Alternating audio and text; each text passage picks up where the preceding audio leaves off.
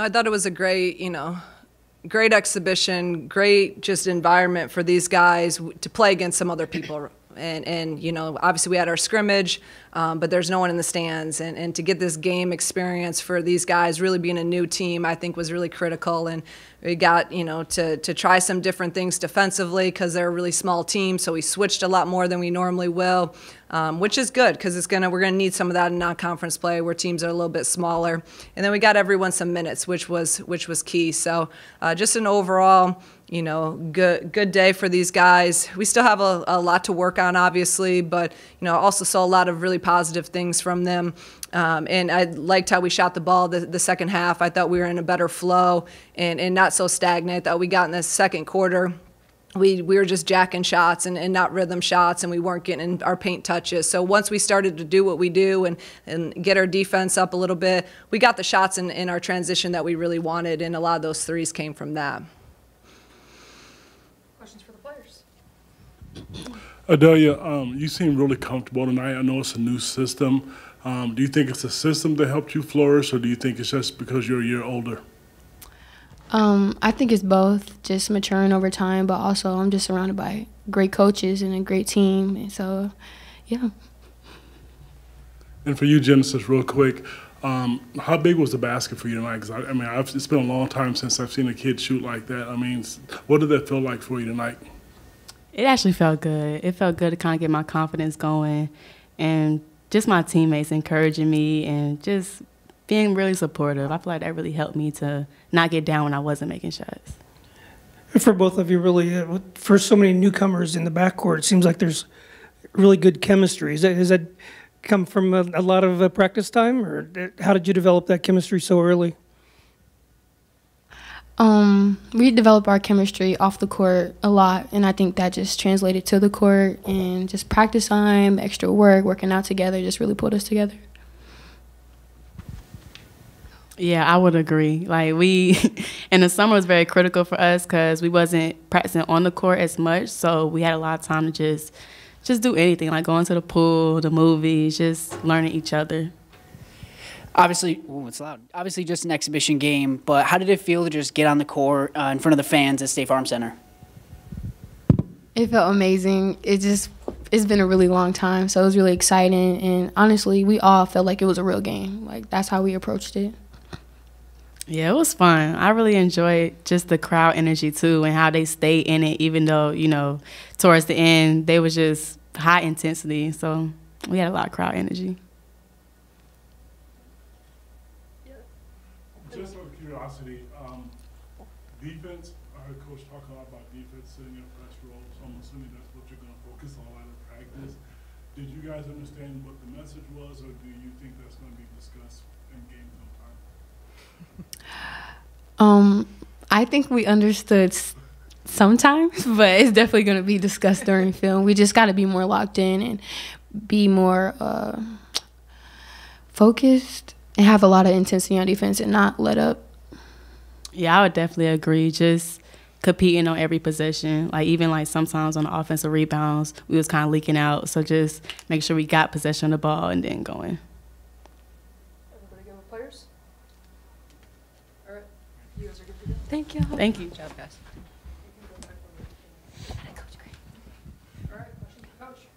We, we've talked and you've said the thing you're going to do defensively, hold teams to low field goal percentage, and then of course rebound really well. You you did a great job with the field goal percentage, 26.7 percent.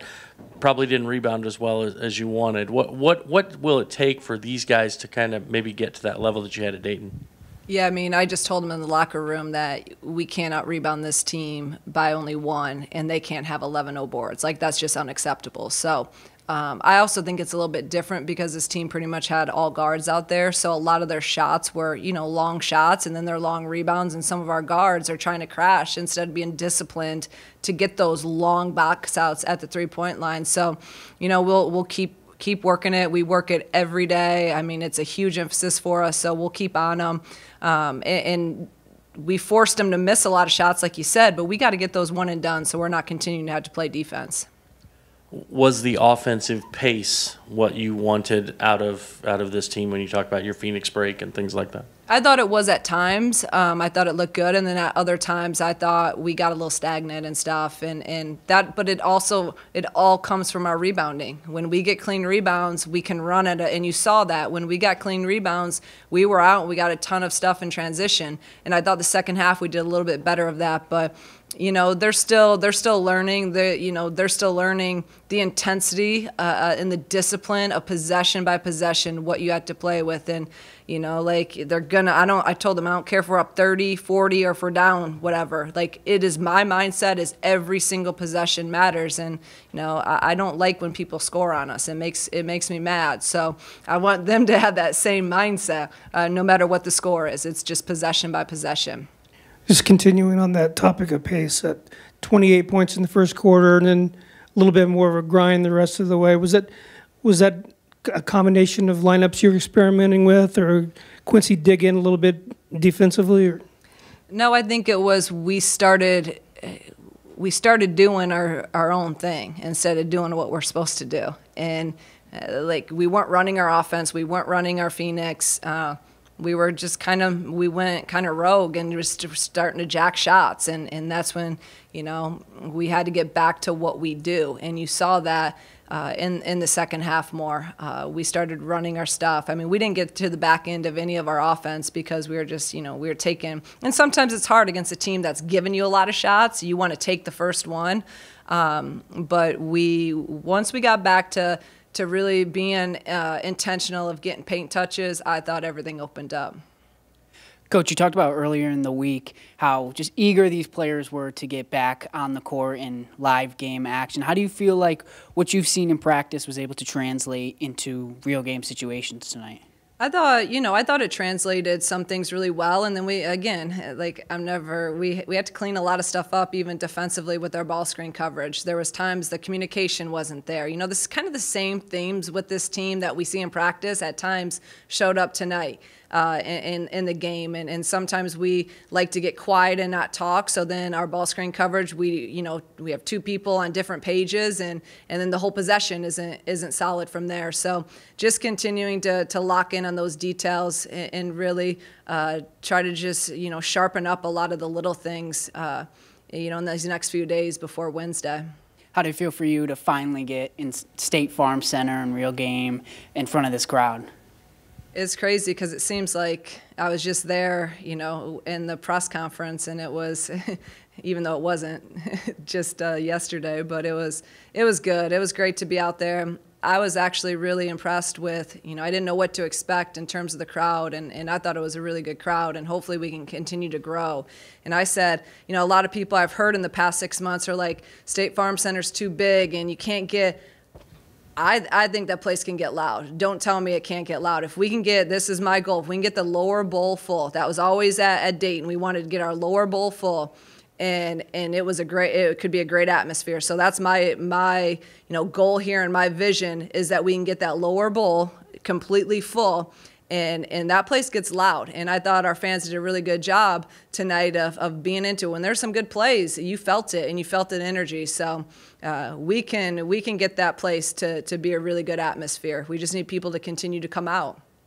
Coach, instant offense from Genesis. Bryant off the bench is is that a role you see for her uh, continuing to go forward? Or? You know, that's that's why I recruited her out of high school when I was at Dayton because that's what she was capable of doing. Now, you, you know, she didn't get much playing time, so I think every you know the the last six months, or she hasn't been here six months. I have, but she's been here, you know, three or four months.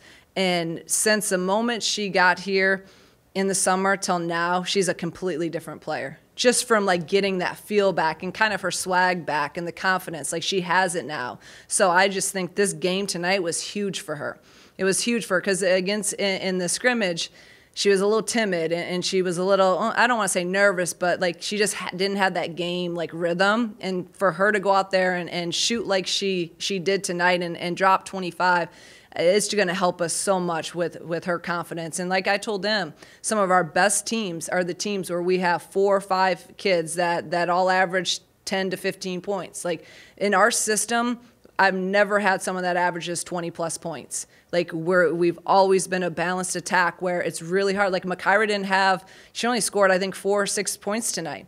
You know, in our scrimmage she had 28. So like now we have we have two other kids that score 20 some. Jayla didn't score in the scrimmage. She had 18. So if we can, you know, KB had 10. If we can continue to get five, six guys that are able to score at that level, we can, we're going to be really, really hard to, to stop.